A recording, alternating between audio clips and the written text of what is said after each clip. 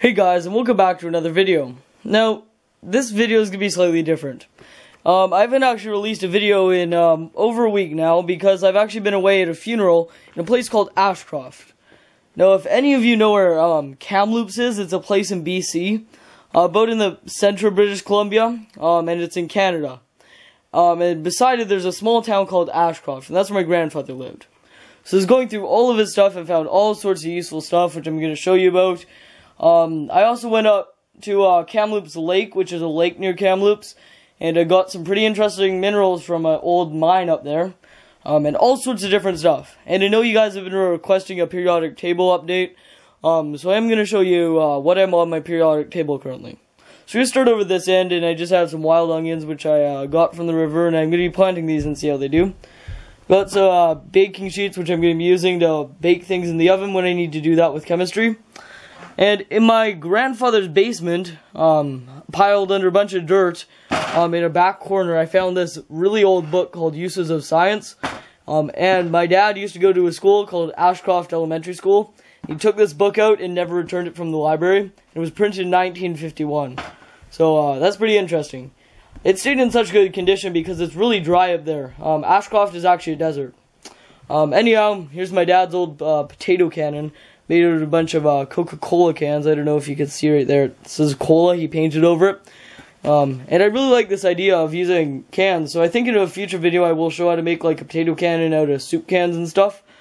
Um, and yeah, I got a bag of old light bulbs and stuff. I'll be removing argon from them. Um, and I'll do, be doing a video on that. This soy sauce here, my great grandfather made, and it is from 1952, 64 years old, and this is like the real stuff, homemade soy sauce. Anyhow, then here is um, some alcohol. It's 50% concentration here. Um, and there's just activated charcoal at the bottom. Now, my grandfather used to love to make moonshine and stuff, so he had like huge amounts of alcohol, just bottles and bottles. So with this stuff, I'm going to be concentrating it to a higher purity, closer to 100%, so we can use it as a solvent. Um, anyhow, so now here's a couple different chemicals I got. So I had a bunch of bone meal, so I grabbed some bone meal. It's just in this uh, thing here.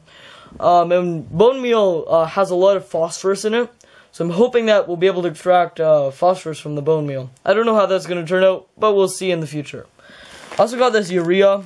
Um, it's used a lot in chemistry, so uh, this was just a fertilizer, so I just grabbed a bunch of that. Um, and I'll probably find a use for it in the future. Now, that is calcium nitrate.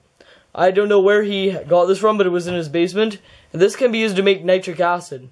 Um, similar to my calcium ammonium nitrate, which I got from the store, I, I do show how to make nitric acid from that in a separate video. You'd basically follow the same steps, except with this. Anyhow, so I'll be using that to make nitric acid. Back here, I just have some plexiglass. That's always really useful, and then some tubing. Now, uh, I found this bar of paraffin wax, and I'm not sure what I'm going to do with that, but um, I know you can melt it down and use it as, like, um, an oil-based uh, heating um, thing to heat round bottom flasks and whatnot.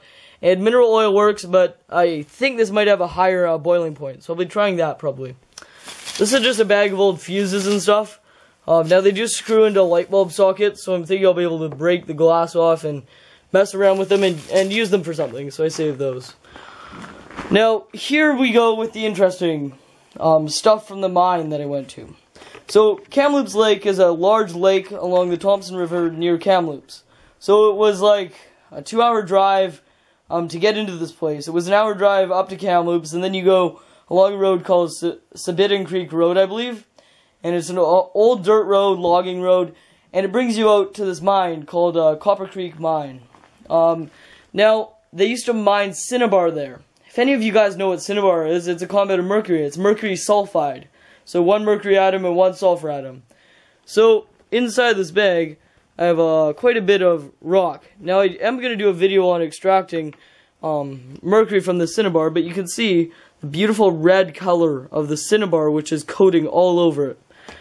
Um, so anyhow, if you guys ever get a chance to go over to Kamloops, or any of you know where Kamloops is, or I even suggest you Google it, um, you should drive out there along the road. It's called Sabiston Creek Road. It's about 26 kilometers in from the main highway. It's along uh, the Trans-Canada Highway, which is Highway 1. And it is really pretty. There's all sorts of different colors of rocks and stuff, and you get yourself some cinnabar and extract mercury from it. So I'll be doing that in a future video. Now, the other thing which was down in the exact same mine was, now, the camera doesn't pick it up that well, but this is actually quite green. Um, like you could see it in the cliffs, it's beautiful green sand. And I'm assuming that this is either a compound of copper, um, chromium, or iron. And I'm not totally sure what it is, I just know it's not water soluble. So we're going to be trying to extract something from this in the future, so uh, that should be pretty interesting. You have lots of that to play around with. Now, this is um, one of my most favorite things that I got from that trip. I actually, on the way over to Ashcroft, um, I live on Vancouver Island, so we had to take a ferry across to the mainland. But on my way over, um, we stopped in at a place called Surrey, which is a small little town. Now, there's a pottery supply place called Green Barn Pottery Supplies. And I bought a couple of things off of them, which will be super useful. This is just some uh, soft brick here. It's rated for 2,300 degrees Fahrenheit, I believe. Um, I don't, I can't remember what that is in Celsius. I just, that's what they told me it was rated for. And uh, it's really good at insulating. And I've seen people use this in different videos for arc furnace crucibles. So grab two bricks here, and um, I will be making an arc furnace out of this. Um, or at least a crucible for my arc furnace out of this, and uh, then I'll be able to melt all sorts of things. Because the current bricks I have just absorb way too much heat, and the chamber doesn't heat up enough. So got two of those, and they're really light. Then, I bought a bunch of manganese dioxide, 500 grams. This is used as a pottery pigment. Um, so you might have it lying around your house, I don't know. I didn't, so I purchased some. This was only uh, $4.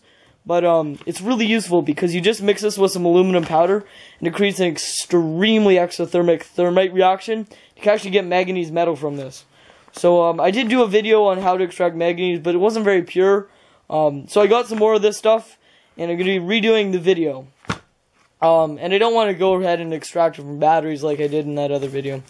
I'm just going to use this stuff from the pottery. The other thing I got was titanium dioxide. Once again, I grabbed 500 grams. This was a bit more expensive, $12, but titanium dioxide is used as a white pigment, and it's super useful. Um, because this, similarly to the manganese dioxide, can be mixed in with a bit of aluminum powder and creates a thermite, and we should be able to extract titanium metal from this. So those things I'm going to be saving for um, extractions. Anyhow, so that's what I got there. Now, here is just a bunch of 240 volt cable, which I'll be able to use in all sorts of different wiring and stuff for my higher um, current things, um, like my arc furnace. So I grabbed a bunch of that. There's huge amounts of it. Um, and anyhow, so now let's take a look at my periodic table, which is right here behind me. Okay, so this is what it looks like so far. Now, lots of things I have not put in ampule, but I have created, like hydrogen, I have hydrogen, helium, those things are easy to obtain. I just haven't put them in. So you can see I have a fair amount here, and not all of them are labeled. So, um, anyhow, you can see basically what I have. And then I have three here which I haven't put in uh, little things here yet, um, and that would be uh, boron, sodium, and uh, ampule of argon.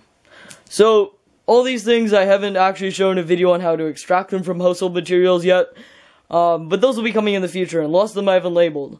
So that's kind of why I've been holding back on uh, showing you guys my periodic table because it's not doing too well yet, and I do have a lot more samples than this. But uh, that's fine because um, in the future I'll be able to label everything properly, get all the other ones I already have on here, and finish it off. So um, anyhow, uh, I'll be back in a moment. Okay, so sorry I had to cut out there. My uh, mom came in my room for some reason, uh, needed something. Anyhow, so that's basically the end of the video. Uh, that's an update. Now I am I'm almost at 100 subscribers.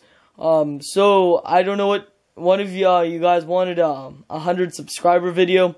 I don't know what to do for it. I'm trying to think of stuff, but I don't know. So if you guys want to post su suggestions in the comments, um, that would be wonderful. But um, yeah, I'll see if I do any of the suggestions if you guys post any. Um, but I'll definitely try to think of something for a 100 subscriber uh, special. Um, so anyhow, uh, I'll try to do update videos on my periodic table periodically. Um, but anyhow, so that's basically all the stuff I got. And I should be able to extract lots of different things from this stuff and use it all. So uh, look for it in future videos. Anyhow, okay, hope you guys enjoyed. Bye.